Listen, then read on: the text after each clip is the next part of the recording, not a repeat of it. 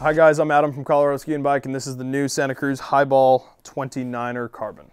The new Highball was released in 2018 of this past spring um, and so far it's gotten great reviews and has been loved by everybody in the shop here.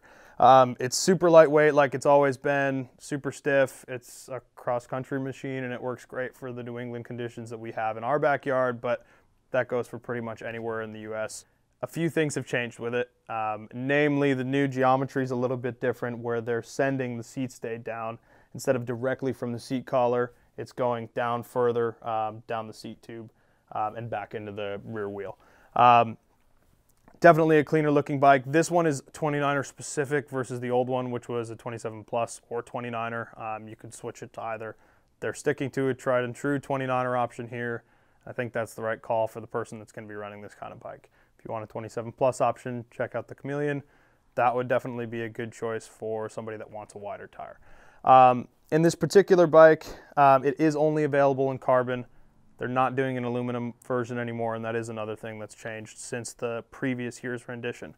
Otherwise, the bike still rips. It's still a cross-country machine. Um, that's basically what most people are using it for is just everyday riding in their local trails.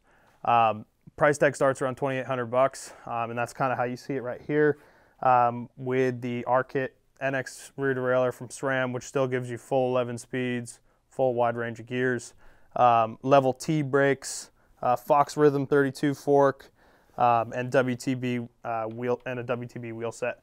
So the bike does come available in two different colors. It comes in this weird purple color that they're calling eggplant, and this kind of creamsicle looking thing. Both colors have done really well.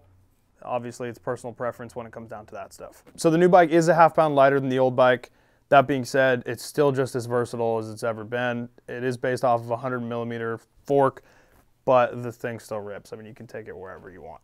So these bikes are available in our West Springfield, Massachusetts location, or visit us on the web at coloradoskishop.com. Um, if you like this video, please hit the like button below subscribe to the videos. Um, we'd love to keep doing these more for you.